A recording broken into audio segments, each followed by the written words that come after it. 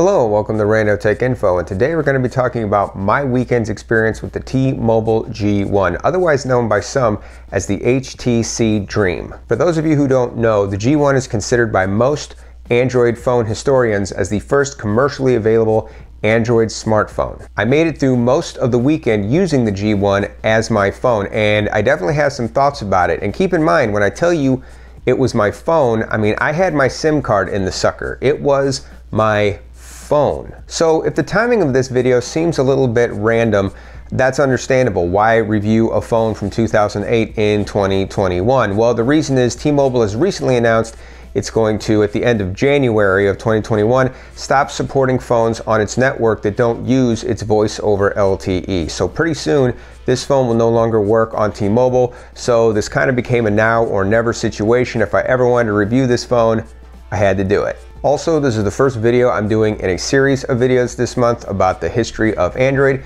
So if you like this video and you want to see more, make sure you sub to the channel so you can catch the rest. So let me start off by saying that smartphones have come a long way since 2008. There were some parts about using this phone that were admittedly painful. That said, some things still worked amazingly well. First, let's have a look at the hardware. You have a 320 by 480 pixel 3.2 inch display. To put that into modern day perspective, that is literally less than half of the size of the screen on my OnePlus 7T.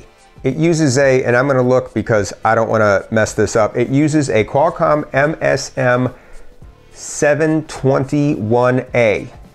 I don't even know what the hell that is. It's got 192 megabytes of RAM, 256 megabytes of storage, although it does have an SD card slot, so it's got that going for it. It has a single 3.15 megapixel rear-facing camera, and when I say single, I mean single. There's no front-facing camera on this sucker. It's just the rear-facing camera, although it does also do video, and it actually has a designated camera button to open the camera app and start and stop filming and to take photos. So take that, Sony. Other physical buttons include the side volume rocker, a call button, a home button, a back button, and the end call slash power button, all things that have become kind of standard on other phones. The really unique thing about this phone is it has a full-fledged trackball. You can use it to scroll through and yes, even select from the apps on your home screen or in your app drawer. It's kind of cool, even though I totally understand why it didn't catch on. Now, if you're a skilled listener, you probably heard me say exterior buttons on this phone. That is because underneath the screen, like so many other phones of its day, it has a full physical keyboard.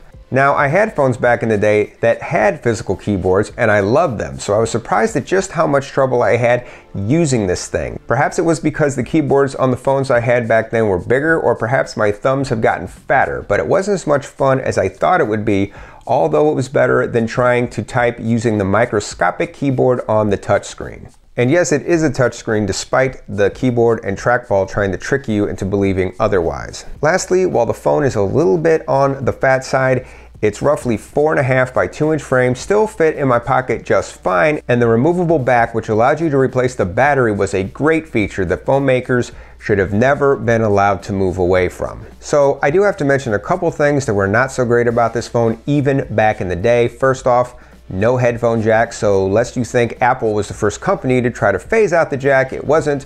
There was no jack on this device. In addition, the port on this thing, the charging port, has a very weird shape.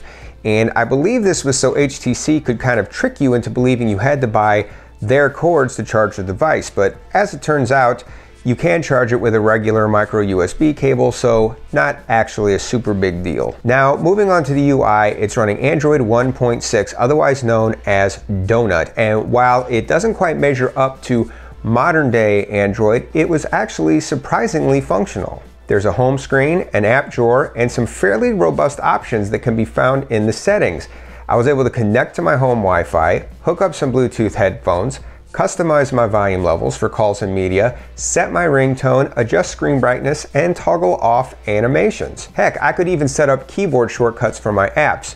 Good luck doing that with the 2021 flagship. Sadly, I was not able to access the Play Store or download a different browser to this phone so I could add any additional apps. However, a lot of the apps that are already on the device still worked, like the alarm clock, the MP3 player, the calculator, Gmail, and even Google Maps. So I was able to experience a little bit of that 2008 smartphone life, especially considering that the calling and texting functions on this phone still worked perfectly. Once I took my T-Mobile SIM card and put it into the G1 and created a new Google account, it wouldn't let me log in with my pre-existing one. It let me make and receive calls and texts with ease.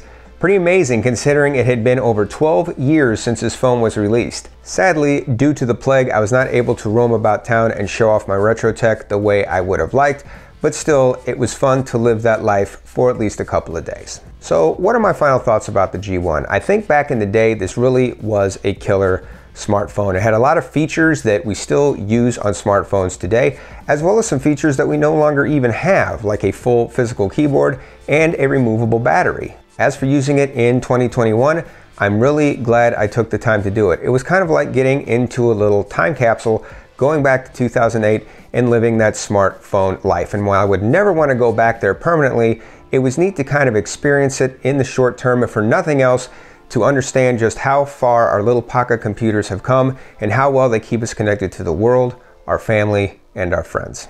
I hope you enjoyed watching this video as much as I enjoyed making it. Thanks for watching.